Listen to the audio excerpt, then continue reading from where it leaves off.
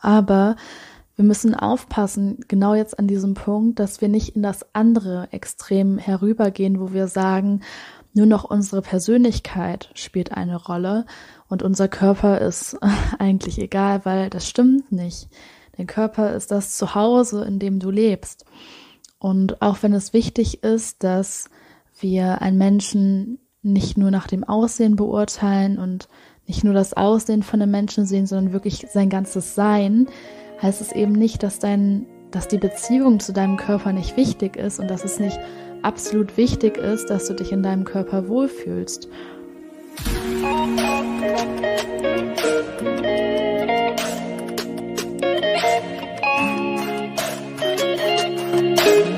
Hallo und herzlich willkommen zu dieser neuen Folge von Feminine Vibe. Ich bin Tabea und ich freue mich, dass du bei dieser Folge wieder mit dabei bist. Und die heutige Folge dreht sich um das Thema sinnliche Seiten der Selbstliebe. Und wenn wir uns einfach mal anschauen, woher das Wort sinnlich eigentlich kommt, wird auch relativ schnell klar, worum es in dieser Folge genau gehen wird. Nämlich kommt das Wort sinnlich natürlich von Sinnen. Und unsere Sinne haben mit unserem Körper zu tun. Das heißt, wie wir fühlen, was wir sehen, was wir hören, das hat alles mit unserem Körper zu tun. Das heißt, die sinnlichen Anteile der Selbstliebe haben ganz viel damit zu tun, was für eine Beziehung wir zu unserem Körper haben und wie wir unseren Körper pflegen, wie wir mit ihm umgehen, wie wir auch gedanklich zu ihm sprechen.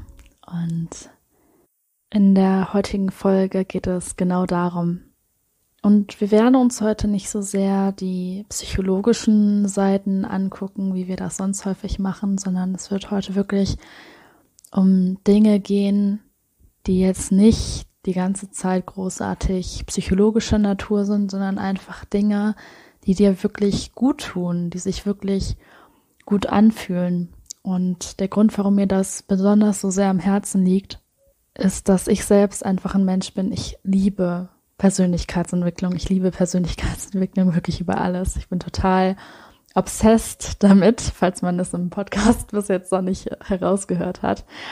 Und Persönlichkeitsentwicklung hat aber natürlich ganz viel mit der Psyche zu tun, mit Psychologie, mit dem Kopf. Und ich habe früher teilweise einfach zu viel Zeit in meinem Kopf verbracht und habe immer versucht, da irgendwas herumzuschrauben, so dass ich meinen Körper einfach ganz vergessen habe Dabei kann der richtige Umgang mit dem Körper und die Art und Weise, wie wir ihn pflegen, wie wir ihn bewegen, das kann eine genauso, wenn nicht sogar stärkere Auswirkung auf unsere Persönlichkeit, auf unser Leben, auf die ganze Art und Weise, wie wir auch mit anderen Menschen umgehen, kann das halt einen viel größeren Effekt oder zumindest einen genauso großen Effekt haben wie die Arbeit an unserer Persönlichkeit durch Persönlichkeitsentwicklung und Psychologie. Das heißt, es ist auch nochmal wichtig zu wissen, dass wenn wir uns um unseren Körper uns kümmern, dass wir damit halt nicht nur dem Körper etwas Gutes tun, sondern auch wirklich uns selbst und dass es eben nicht nur schön ist, sondern auch produktiv. Weil viele Leute haben heutzutage das Gefühl, dass Dinge nur noch produktiv sind, wenn die sich irgendwie anstrengend anfühlen und wenn man das Gefühl hat, dass man so irgendwas geleistet hat. Aber sich zu entspannen und seinem Körper einfach etwas Gutes zu tun, das fühlt sich natürlich jetzt nicht unglaublich anstrengend an. Das wäre ja auch eben das Gegenteil von dem, was man erreichen möchte.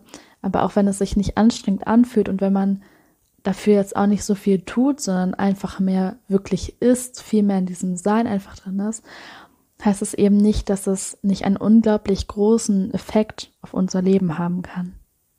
Und der erste Punkt in Bezug auf die sinnlichen Aspekte von Selbstliebe ist einfach, wie gut wir unseren Körper pflegen. Und da geht es jetzt nicht darum, auf eine bestimmte Art und Weise auszusehen oder das für andere Menschen zu tun, sondern es geht wirklich darum, das einfach für sich selbst zu machen wir kommen jetzt mittlerweile in der Gesellschaft glücklicherweise, wirklich glücklicherweise immer mehr an einen Punkt, an dem unser Aussehen nicht mehr alles bestimmt. Das heißt, bei dem ganzen Thema Feminismus und Frauenrechte geht es eben auch darum, einen Menschen nicht nur für sein oder ihren Körper zu sehen, sondern wirklich den Menschen dahinter zu sehen, die Persönlichkeit dahinter zu sehen. Und das ist natürlich unglaublich wichtig, dass wir aus dieser oberflächlichen Denkweise, einen Menschen zu sehen, ausbrechen und wirklich mehr in die Tiefe reingehen und wirklich den Menschen hinter dem Aussehen, hinter dem Körper sehen können. Aber wir müssen aufpassen, genau jetzt an diesem Punkt, dass wir nicht in das andere Extrem herübergehen, wo wir sagen, nur noch unsere Persönlichkeit spielt eine Rolle und unser Körper ist eigentlich egal, weil das stimmt nicht. Dein Körper ist das Zuhause, in dem du lebst. Und auch wenn es wichtig ist, dass wir einen Menschen nicht nur nach dem Aussehen beurteilen und nicht nur das Aussehen von einem Menschen sehen, sondern wirklich sein ganzes Sein, heißt es eben nicht, dass dein, dass die Beziehung zu deinem Körper nicht wichtig ist und dass es nicht absolut wichtig ist, dass du dich in deinem Körper wohlfühlst. Und wir fühlen uns einfach am wohlsten in unserem Körper, wenn wir ihn erstens bewegen, wenn wir ihm halbwegs gesunde Nahrung geben und wenn wir ihn eben auch pflegen. Und pflegen hat jetzt nichts damit zu tun, dass wir uns schminken sollen oder dass wir jetzt irgendeinem Beauty-Standard sprechen sollen, sondern es geht einfach darum, deinen Körper so zu pflegen, dass du dich persönlich damit wohlfühlst. Das heißt, das ist mir auch ganz wichtig, von diesem bescheuerten Beauty-Standard wegzugehen, dass alle Frauen perfekt rasiert sein müssen oder sich schminken müssen oder sonst irgendwas tun müssen, tun sollen. Also dieses Wort sollen und müssen sollte man am besten, sollte man am besten direkt einfach aus dem Wortschatz herausstreichen. Es geht einfach darum herauszufinden, was fühlt sich für mich gut an? Wann fühle ich mich gepflegt? Wann fühlt sich das wirklich so an, dass mein Körper gepflegt ist, dass ich mich darin wirklich wohlfühle. Und wie man sich das einfach vorstellen kann, ist, dass dein Körper eben dein Zuhause ist. Das ist so, als hättest du ein Haus und du würdest es einfach auf eine sehr schöne Art und Weise einrichten. Das heißt, es geht auch weniger darum, was andere Leute denken, was andere Leute möchten, sondern es geht einfach darum, wie du aus deinem Körper das Schönste, das für dich Schönste zu Hause machen kannst. Und für manche Leute bedeutet das zum Beispiel, dass du badest. Ich persönlich mag Baden überhaupt nicht gerne. Ähm, vielleicht hin und wieder, aber meistens mag ich Baden nicht so gerne. Für andere Leute bedeutet das eben, die Beine zu rasieren oder sich einzucremen oder die Haare einzuölen oder was auch immer.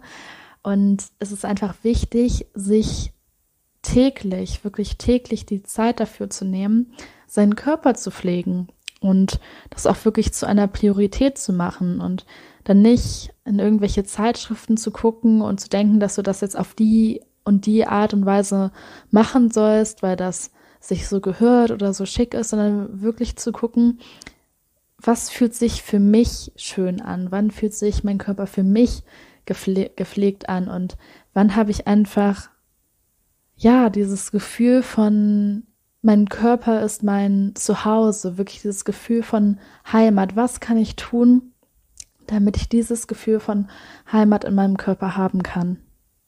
Und wie gesagt, wenn du dich zum Beispiel gerne schminkst, dann schmink dich. Wenn du Schminke hast, dann, dann schmink dich nicht.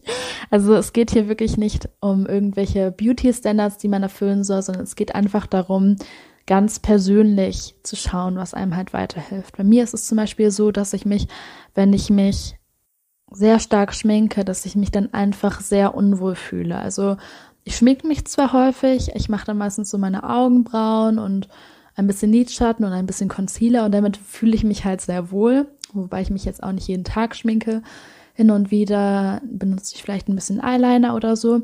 Aber wenn ich jetzt ganz viel Make-up und Puder in meinem Gesicht hätte, dann würde ich mich damit einfach nicht wohlfühlen, weil ich das Gefühl hätte, so meine Haut kann nicht wirklich atmen und ja, es fühlt sich für mich persönlich halt nicht gut an.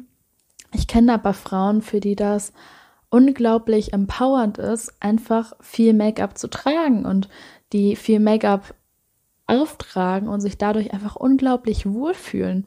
Und genauso kenne ich eben auch Frauen, die wirklich gar kein Make-up tragen, also wirklich überhaupt nichts und für die das eben total empowernd ist und sich einfach schön anfühlt. Und äh, da ist es einfach wichtig, eben nach seinem eigenen Gefühl zu gehen. So, der zweite Punkt ist, nimm dir Zeit, deinen Körper zu berühren. Und damit meine ich nicht jetzt Masturbation oder so etwas, wobei das natürlich auch ein sehr schöner Punkt ist, sondern ich meine einfach deinen Körper wirklich kennenzulernen und deinen Körper zu massieren und einfach mal kennenzulernen, wie sich dein Körper eigentlich anfühlt. Und wenn wir jetzt in einer Partnerschaft sind oder teilweise auch mit Freundinnen oder Freunden, dann kennt man das ja, dass man sich mal berührt, dass man vielleicht mal kuschelt, dass man mal über die Hand von dem anderen streicht. Und wir machen das mit uns selbst aber nicht. Dabei gehört das einfach, ja, zumindest zu einer Liebesbeziehung oder zu einer romantischen Bindung gehört dieser Körperkontakt ja meiner Meinung nach auf jeden Fall dazu. Und das ist ja auch einfach schön, so den Körper von dem anderen zu erforschen und wirklich zu spüren, wie fühlt sich eigentlich die andere Person an. Das lässt einfach sehr viel Intimität entstehen zwischen diesen Menschen. Und genauso kann das für uns, also für die Beziehung von uns zu uns selbst, unglaublich bereichernd sein, wenn wir auch diese Form von Intimität mit uns selbst haben, dass wir uns selbst berühren, dass wir uns selbst umarmen, dass wir uns selbst streicheln. Und das fühlt sich vielleicht erstmal ein bisschen merkwürdig an, weil wir das in der Gesellschaft halt nicht gewohnt sind. Das heißt aber nicht, dass es schlecht ist oder dass es peinlich ist oder dass es unangenehm ist, weil ganz viele Dinge, die unglaublich produktiv sind und die unglaublich gut für unsere Selbstliebe sind, das sind einfach Dinge, die in der Gesellschaft noch nicht so wirklich angekommen sind oder sogar teilweise verpönt sind, weil wir in der Gesellschaft einfach einen toxischen Blick darauf haben. Das heißt, ich hatte das auch neulich mal in einer Instagram-Story gezeigt, dass das ganze Thema Körperarbeit in der Gesellschaft einfach noch einen total schlechten Ruf hat. Und dass wir, wenn wir zu Hause sind und uns einfach total wütend fühlen und diese Wut in einer gesunden Art und Weise, ganz alleine, ohne jemandem dabei zu schaden, ausdrücken, dass uns das peinlich ist, dass uns das unangenehm ist und wir so denken, hä, warum soll ich jetzt auf Kissen einschlagen? Warum soll ich jetzt in ein Kissen reinschreien? Das ist doch total peinlich und unangenehm. Aber in Wirklichkeit ist es eine super gute therapeutische ähm, Körperarbeit, Möglichkeit, um einfach seine Emotionen freizusetzen, um dafür zu sorgen, dass sie sich eben nicht in deinem Körper festsetzen, sondern dass die wirklich frei sind. Und wenn alle Menschen diese Übung hin und wieder mal machen würden, dann hätten wir wahrscheinlich eine viel ja, friedlichere Welt und auch einen viel besseren Umgang mit unseren Gefühlen. Aber in unserer sehr, sehr schrägen Gesellschaft ist es halt einfach so, dass es halt irgendwie cooler ist, sich volllaufen zu lassen und dann aggressiv auf jemanden einzuprügeln und so seine Wut loszulassen oder seine Wut runterzuschlucken und dann am Ende vielleicht eine Krankheit dadurch zu entwickeln, dadurch, dass wir diese Wut einfach nie ausgelebt haben, anstatt eben eine gesunde Art und Weise zu finden, unsere Wut auszuleben. Das heißt, nur weil du Scham empfindest, in den ersten Malen, wo, wo du etwas tust, weil die Gesellschaft uns das so eingeredet hat, dass es nicht richtig oder nicht normal wäre, heißt es eben nicht, dass es wirklich ein Grund ist, um Scham zu empfinden, weil eben ganz viele Dinge, die eigentlich gut für uns sind, Dinge sind, die eben ja in der Gesellschaft leider aktuell noch verpönt sind. Ich hoffe, dass sich das in Zukunft auch noch ändern wird. Ja, also auch wenn es sich am Anfang erstmal merkwürdig anfühlt, es ist wirklich so eine schöne Erfahrung, sich einfach selbst anzufassen. Und das macht man ja auch, indem man sich zum Beispiel eincremt. Das ist zum Beispiel auch, wenn ich mich eincreme, dann nehme ich mir einfach ganz viel Zeit, um wirklich, ja, lieb mit mir zu sein und mich wirklich zu berühren und mich wirklich zu fühlen. Und ja, das ist natürlich etwas sehr Sinnliches. Darum geht es ja auch um sinnliche Selbstliebe. Aber es ist nicht mehr etwas, was unbedingt sexuell sein muss. Es ist wirklich einfach etwas, was ja, so ist wie wenn man halt mit seinem Partner kuschelt, wie wenn man halt Händchen hält mit seinem Partner. Genauso kann man das halt mit sich selbst machen und ja, einfach seinen eigenen Körper zu berühren und so eine Beziehung auch zu seinem eigenen Körper zu haben. Das ist ein unglaublich wichtiger Teil vom Thema Selbstliebe. Der dritte Punkt ist, dich mit Dingen, mit Objekten zu umgeben, die eine positive Auswirkung auf deine Sinne haben. Es kann zum Beispiel sein, dass du Blumen oder ein schönes Bild kaufst und das bei dir zu Hause hinhängst, damit deine Sehsinne positiv beeinflusst werden. Also so, ein, so, ein, so eine Ästhetik bei dir zu Hause zu haben. Es kann aber auch sein, dass du zum Beispiel Musik hörst, die etwas Positives auslöst, was eben deinen Hörsinn anregt. Es kann sein, dass du bestimmte Öle benutzt für, für dich selbst, für deine Haut oder auch für den Raumduft oder auch, dass du dir einfach Kleidung kaufst, die sich sehr schön, sehr weich, sehr fließend auf deiner Haut anfühlt. Also, dass du dich einfach mit Dingen, mit Objekten umgibst, die sich gut anfühlen, die schön aussehen, die schön klingen und dass du das vor allem auf die Sinne beziehst, die bei dir am meisten ausgeprägt sind. Natürlich ist es schön, wenn alle Sinne ähm, auf eine schöne Art und Weise stimuliert werden. Aber bei mir persönlich ist es zum Beispiel so, dass ich einen großen Wert auf meinen Sehsinn lege und einen großen Wert auf meinen Tastsinn. Das heißt, ich mag vor allem Dinge sehr gerne, die sich schön anfühlen und die schön aussehen. Und natürlich empfinde ich es auch als sehr schön, wenn etwas gut schmeckt oder gut riecht oder sich schön anhört. Aber diese, dieser Tastsinn und dieser Sehsinn, die sind bei mir einfach sehr intensiv ausgeprägt, sage ich mal. Das heißt, das hat für mich eine bestimmte Priorität, dass ich mich halt einfach in meiner Umgebung äh, auf einem ja sehsinnlichen, auf einer sehsinnlichen Art und Weise wohlfühle, dass es einfach eine gewisse Ordnung gibt, dass die Farben stimmen und so weiter und dass sich etwas schön anfühlt, dass die Haut, die Haut, die Stoffe, die meine Haut berühren, dass die weich sind, dass die sich schön anfühlen, dass da nichts kratzt, dass die Ketten, die ich trage, ich trage sehr gerne Ketten, dass die sich gut anfühlen und nicht zu schwer und nicht zu kalt sind oder so. Ja, das heißt, das hat für mich eine bestimmte Priorität. Und du kannst auch einfach mal, das weiß man meistens in, äh, instinktiv, wenn nicht, dann kannst du einfach mal die nächsten Tage darauf achten, welche Sinne du am meisten, ja, die, welche am meisten bei dir ausgeprägt sind, auf welche du, du so am meisten Wert legst. Wenn du zum Beispiel den ganzen Tag damit verbringst, Musik zu hören und vielleicht dein Musikgeschmack ein, ein großes Kriterium für eine Partnerwahl ist. Das kenne ich, dass manche Leute sagen, die wollen nur einen Partner haben, der eine bestimmte Art von Musik hört, ist die Wahrscheinlichkeit groß, dass du eine sehr große Priorisierung auf deinen Hörsinn legst.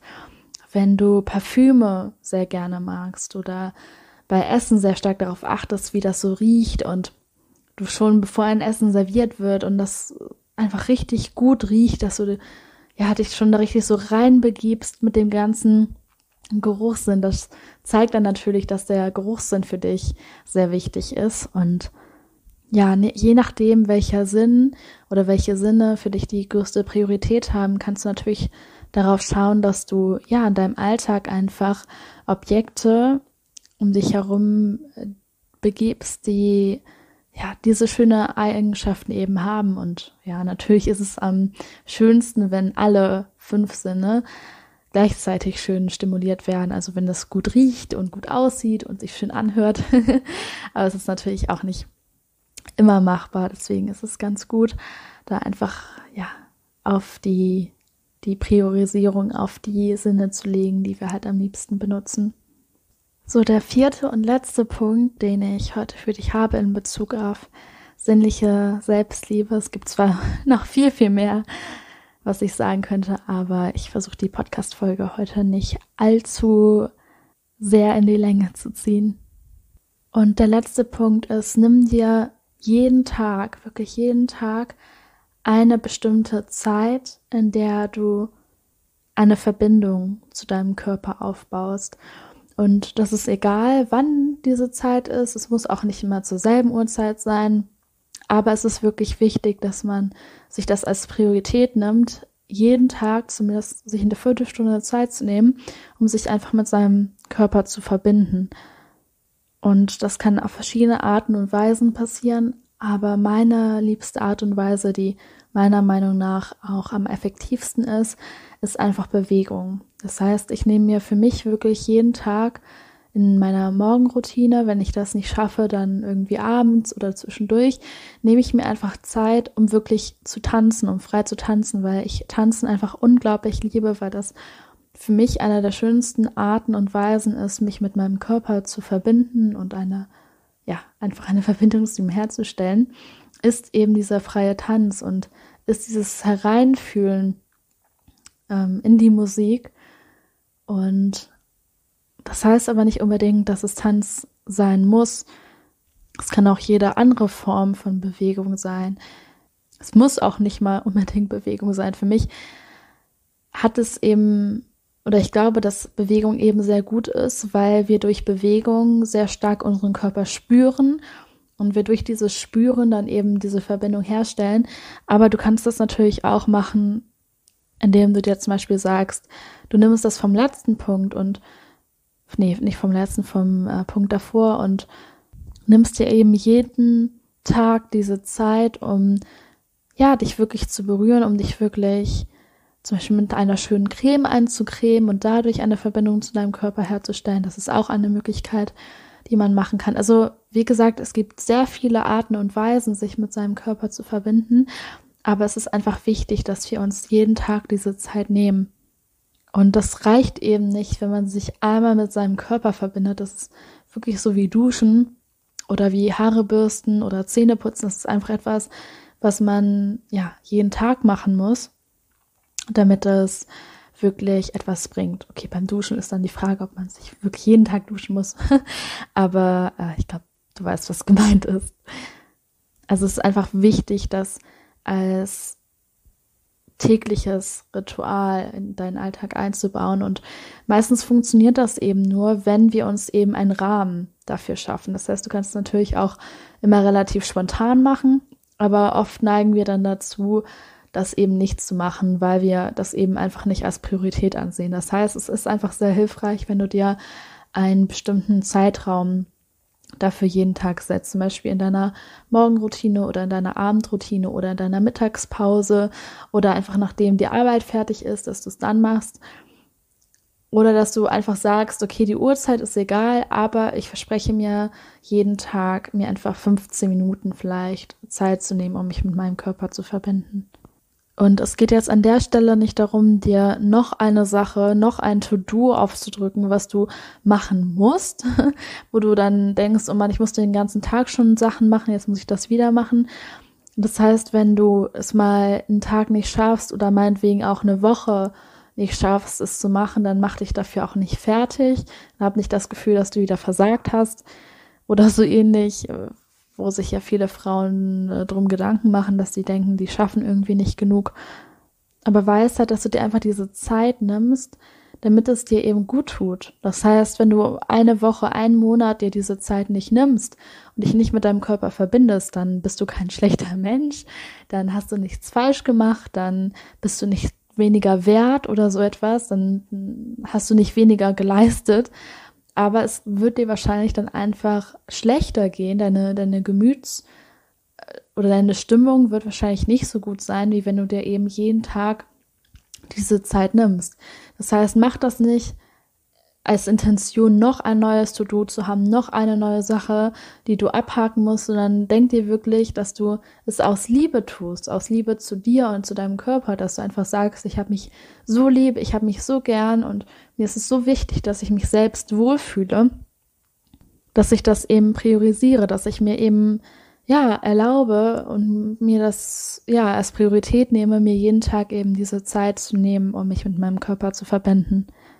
Ja, und das ist nochmal so ein letzter Tipp, den ich dir auch geben kann, dir das einfach als Priorität zu setzen, weil die Beziehung zu dir und auch die Beziehung zu deinem Körper so wichtig ist, so unglaublich wichtig. Das hat eine Auswirkung auf dein ganzes anderes Leben, äh, dein ganzes anderes Leben, auf all, alle anderen Lebensfelder von dir. Es hat eine Auswirkung auf alle Beziehungen in deinem Leben, egal ob zu deinem Partner oder zu deinen Eltern oder zu deinen Freunden oder zu deinen Bekannten. Es hat eine Auswirkung darauf, wie gut du deine Arbeit machst. Es hat eine Auswirkung darauf, wie glücklich du bist. Und umso glücklicher du bist, desto, ja, mehr Gutes kannst du auch in die Welt bringen. Das heißt, fühl dich nicht schlecht, wenn du das als Priorisierung nimmst und wenn du das im Alltag vielleicht auch mal über andere Dinge drüber stellst. Also schäm dich einfach nicht oder mach dich nicht selbst runter, wenn du Selbstliebe, wenn du so Selbstliebe-Rituale oder ja, auch dieses ganze Thema einfach als eine Priorität ansiehst. Ja, und das war's auch wieder mit dieser Folge von Feminine Vibe. Ich hoffe, du konntest ein paar, ja, sinnliche Sachen für dich mitnehmen. Wenn du mir noch nicht auf Instagram folgst, dann folg mir gerne unter Tabea Jantges. Wenn du keine neue Folge mehr verpassen möchtest, dann abonniere gerne den Podcast. Und wenn dir der Podcast geholfen hat, wenn er hilfreich für dich war, würde ich mich sehr freuen, wenn du eine Bewertung hinterlässt auf iTunes. Das hilft dem Podcast sehr. Oder wenn du ja den Podcast auch einfach deiner Freundin weiterempfehlst. Das ist eigentlich so eine der besten Arten und Weisen, den Podcast zu unterstützen. Und ansonsten wünsche ich dir ja noch eine wunderbar sinnliche, selbstliebende Woche. Und alles Liebe, deine Tabea.